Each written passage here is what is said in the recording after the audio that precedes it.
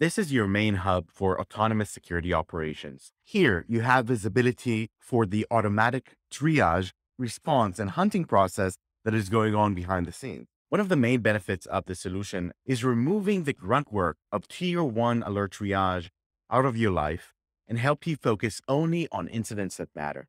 So after automatically ingesting and triaging your alerts from multiple sources, for example, EDR and SOAR, right away, you're left with 40% less alerts after we identified them as false positives.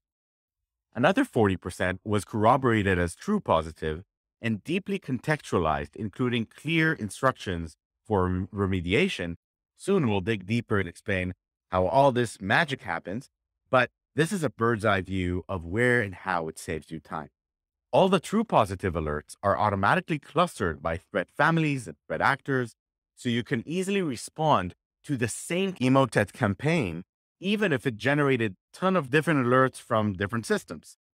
About 80% of your alerts are automatically triaged, while for the rest, we give you a rich tool set to investigate them. Another core piece that we're automating is hunting, meaning in addition to handling stuff that has already been detected by your existing security tools out of the box, we also help you to create rules and IOCs to hunt for bad stuff in your environment.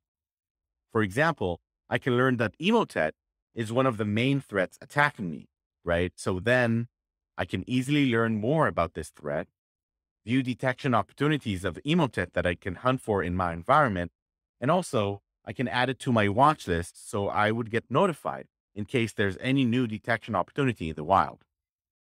It's super easy to add more alert sources to your hub, and usually it takes just only two hours to get started.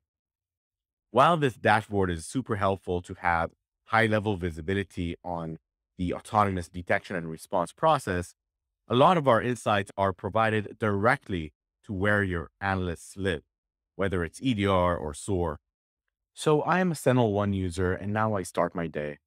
I can see that I have four alerts to look at.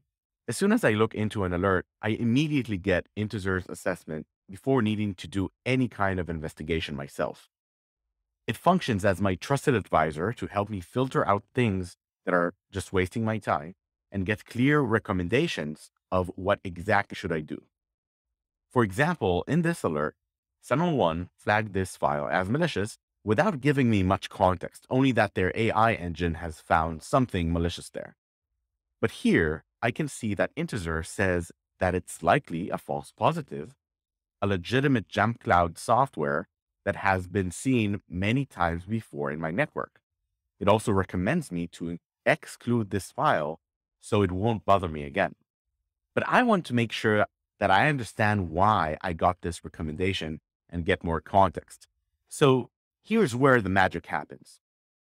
In order to provide a trustworthy assessment, we do the same things that an experienced analyst would do, which includes the usual stuff like sandboxing, checking the hash in VirusTotal, but also much more sophisticated stuff like reverse engineering the suspected file, unpacking it, conduct memory analysis for any injected code, look at the code itself, what it does, where it has already been seen before in the past, find similarities of techniques, TTPs, strings, IOCs, and code against any threat ever seen before in history, and also any legitimate software out there. All this analysis, which really mimics how an experienced analyst would approach it, is condensed to a simple, clear assessment and recommendation. Let's take another example. This is a great detection by SentinelOne. However, yet again, it's hard to understand what is this threat exactly? How should I prioritize it? And how should I remediate it?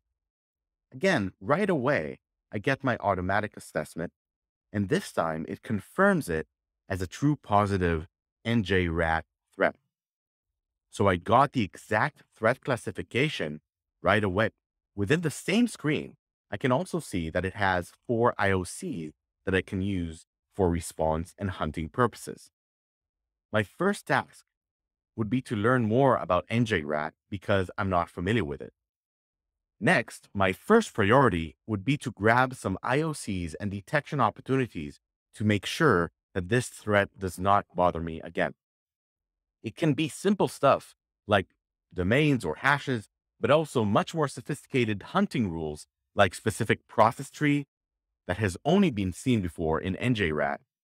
To summarize, Intezer functions as your virtual tier one team with reverse engineering superpowers so you can focus only on incidents that matter, get more context, and stay up to date with all the latest threats.